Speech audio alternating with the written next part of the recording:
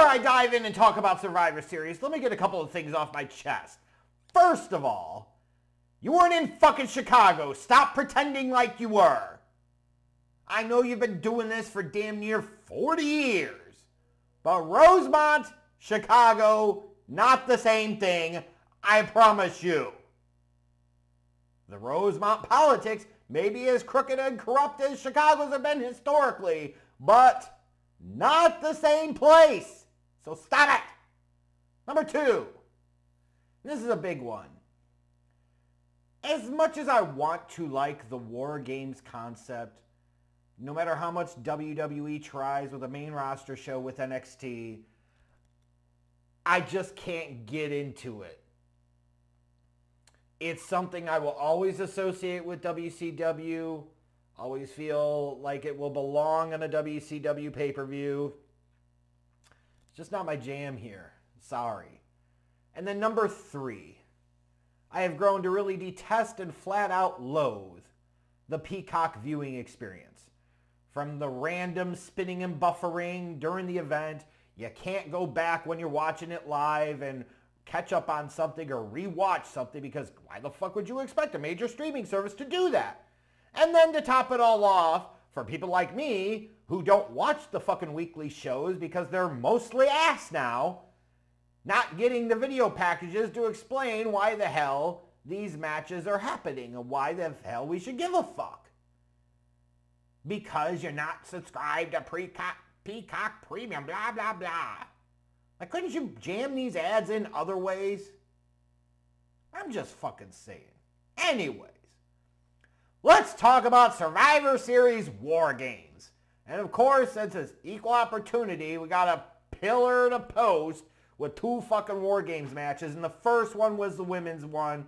And I don't care how much people are going to try and tell me they really enjoyed this. If they did, more power to them. But I was bored as fucking shit. The psychology of this match is so goddamn stupid. War games traditionally, you have the heel team that has the person advantage. Kind of a tried and true formula. So of course, the babyface team has the woman advantage throughout the match. The heel team's the one that's doing the most spectacular spots you got Iyo Sky doing the dumb shit in the fucking garbage can, which looked like trash. well, guess it was trash. Could you imagine? Like, what's the appeal of that move? Seriously. But they're the ones doing this shit. They're the ones that have the disadvantage, but you're supposed to boo them? Really? Meanwhile, the babyface team has fucking Charlotte Flair on it. In Shitzy. Shitzy just sucks, but Charlotte Flair is on a whole different level of botchy bitch. She can't even run to the fucking ring right. The first move she hits is a fucking botch. The goddamn moonsault off the top of the fucking uh, War Games cage. She almost overshot every goddamn buddy. And then her and Becky Lynch combined. I can't just put this on the botchy bitch herself. They couldn't even fucking execute a basic put a pull them in hug right. The fuck is going on here? How do you fuck up a hug? Everything about this is just dumb. The psychology is off. You don't give a shit about the majority of the people in this fucking match. And of course, the babyface team wins, which really makes them the heel team and the heel team the babyface team because the heel team was the one that had to overcome the odds and they couldn't do it. But they were the ones that did the most crowd-pleasing, spectacular shit in the match. Oh, I guess that's the Triple H booking genius. Oh, praise God. And how dare I blaspheme him against everything that is in the books of the Hunter, the Hearst, and the Helmsley, right? Ah, fuck off. Anyways. Thank God we eventually got over that 30, 40 fucking minutes later. The Intercontinental Championship, The Miz versus Gunther. I did enjoy this one. Miz as a plucky underdog babyface doesn't work. It's never going to work. But him nutshotting Gunther a couple of times and using wily, crafty tricks to make this a competitive match against Gunther by surprise, I was totally down for. This was better than I thought it had any business being except for the fact that I know Miz is really fucking good. And maybe someday, someday, Gunther can actually work at his craft and be on the same level as The Miz.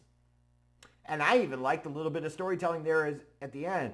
Wasn't it Gunther that beat Jericho, or I almost said Jericho, beat Miz with the Lion Tamer so that way Miz doesn't get the ninth Intercontinental Championship? Nice little storytelling touch there. That was good shit. Solid match. Santos Escobar versus Dragon Lee. I really didn't give a fuck about. You're not going to give me Rey Mysterio. You're not going to give me Carlito. That's not fucking cool. Dragon Lee, they're hyping him up. What's so special about him? Maybe, just maybe, when you put aside the mask piece, if he was doing shit that dozens of other wrestlers, male and female, don't already do on the fucking roster, main roster NXT, like maybe I would give a shit. Instead, I don't.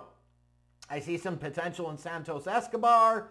I'm not going to get head over heels about his potential right now, but he won. Who cares next? You know, Rhea Ripley, Zoey Stark, Women's World Championship. As far as Rhea Ripley goes, you know, you're supposed to buy that Zoey Stark had a chance. Again, this is like pretending that Survivor Series was actually in Chicago tonight.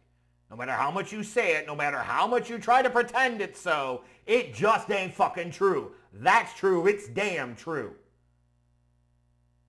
I wish they could give Rhea Ripley some, you know, like valid, legitimate, believable competitors.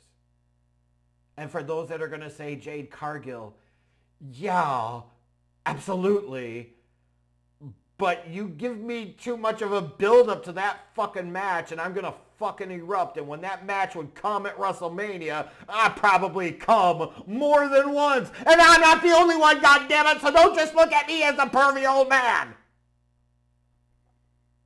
But this match, Ripley and Zoey Stark, probably was the worst match of the night, right? I think it had to be. It was in kind of a no-win spot. Wasn't a match that people really cared about.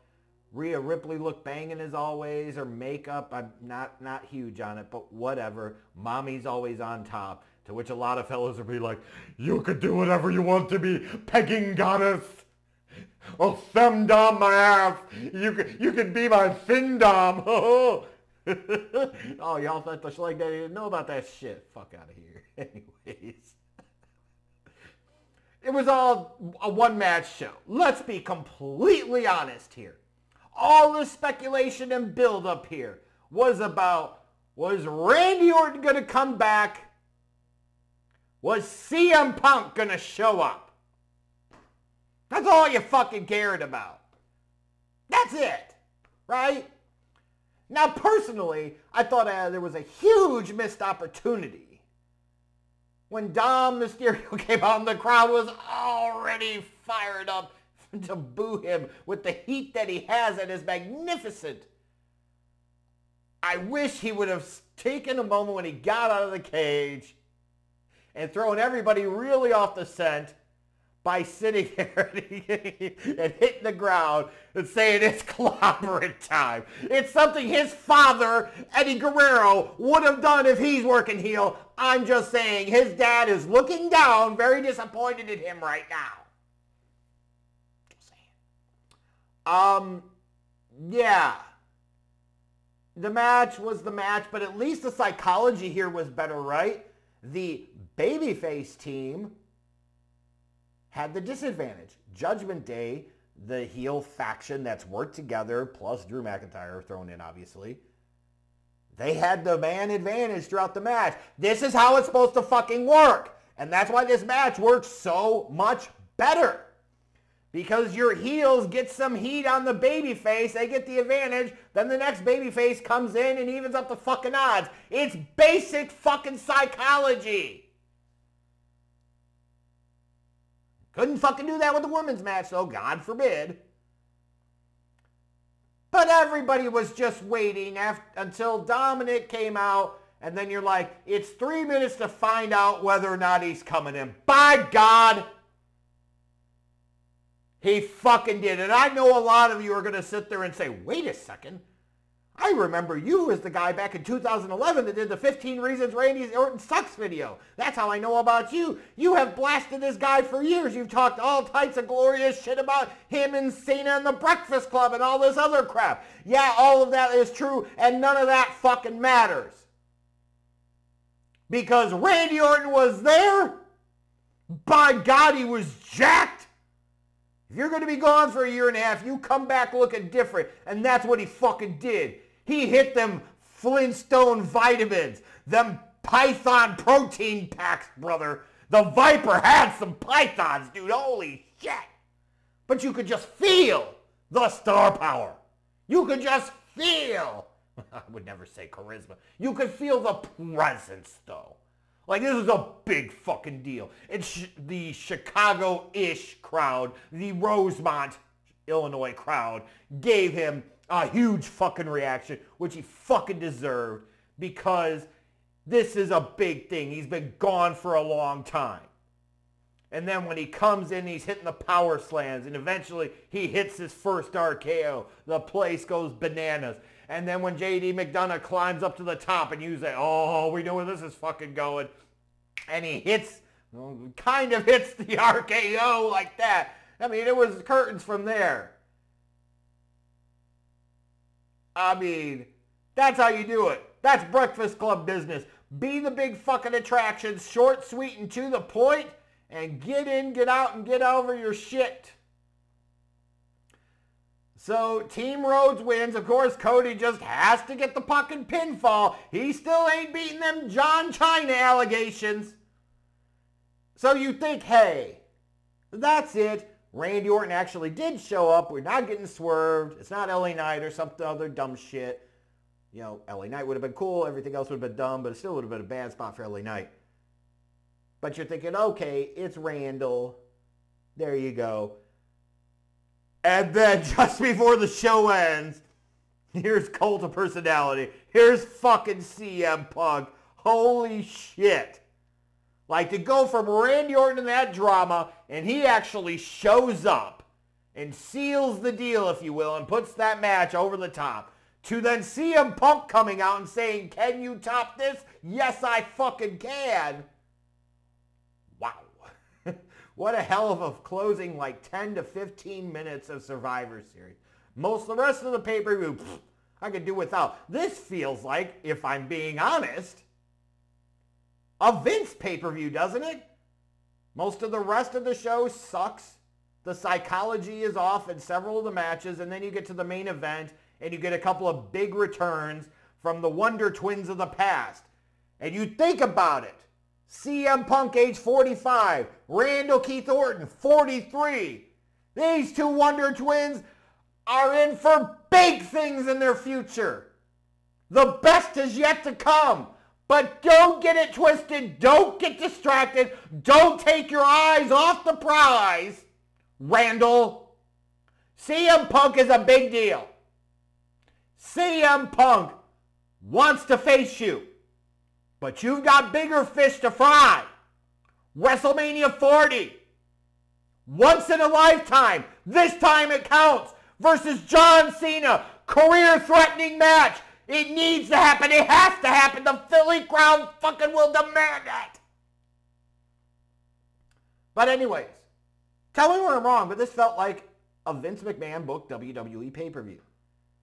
Two and a half hours of you really don't give much of a fuck and you're trying to fumble fuck through and pretend like you give a shit. And the last 10 15 minutes kind of hook you and get you to almost forget that the rest of the show was mostly a large waste of time. But at least if nothing else, you got some type of cliffhanger that makes you actually want to tune in to WWE television this upcoming Monday and this upcoming Friday because you say, holy shit, Randy Orton's back, CM Punk's back. This feels like the true start to WrestleMania season this time. And my God, can you imagine what that lineup's going to look like at Royal Rumble?